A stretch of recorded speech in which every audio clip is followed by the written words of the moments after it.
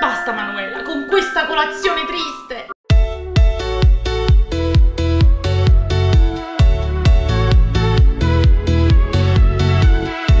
10 elaborati in gara 10 azioni green che si sono contraddistinte lanciando un messaggio positivo alla cittadinanza cavese e non solo. Difendere la città dall'inciviltà è senz'altro il primo passo per vivere meglio e sentirsi artefici di quei piccoli cambiamenti verso un futuro migliore. Il premio Resilienza Marzia Pisapia 2019, giunto alla sua seconda edizione ed organizzato dalla sezione cavese di Lega Ambiente, è stato consegnato questa mattina presso l'aula consiliare del comune di Cava dei Tirreni ai giovanissimi Martina Cicco e Simone Pecoraro che con questo scatto hanno ricevuto il maggior consenso del pubblico social per l'impegno profuso alla cura dell'ambiente.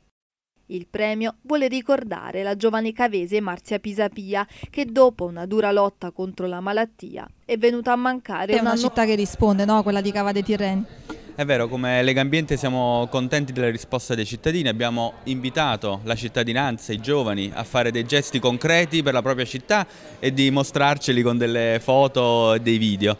Uh, oggi abbiamo esposto i 10 finalisti e soprattutto annunciamo il vincitore del premio Resilienza Marzia Pisapia 2019, una seconda edizione per ricordare la nostra amica Marzia che è scomparsa l'anno scorso e che ha sempre lottato nonostante le difficoltà della vita e quindi anche questi gesti che hanno fatto i ragazzi sono un segno di resistenza, di resilienza, di riscatto concreto. Li critichiamo tanto ecco, i giovani, però alcuni di loro hanno risposto positivamente e siamo davvero contenti. L'esempio di Marzia Pisapia sarà portato avanti da tutto il gruppo di Lega Ambiente che ogni anno vuole premiare in sua memoria chi si sarà distinto sul territorio per le iniziative ambientali.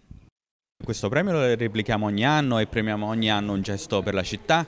Eh, Lega Ambiente, come sapete, è attivissima sul territorio, siamo un gruppo di ragazzi, principalmente volontari, ma soprattutto che sviluppiamo anche progetti importanti per il territorio. Penso al Green Hub di Cava dei Tirreni, che insieme al Comune e altri partner stiamo sviluppando, eh, Cartarte a Pellezzano, piuttosto che le nostre azioni di pulizia, di sensibilizzazione nelle scuole. Ci aspetta un grande 2020, invitiamo tutta la cittadinanza ad avvicinarsi a questa associazione Lega Ambiente Cava, scriveteci anche sui social perché siamo aperti a, per migliorare insieme la città.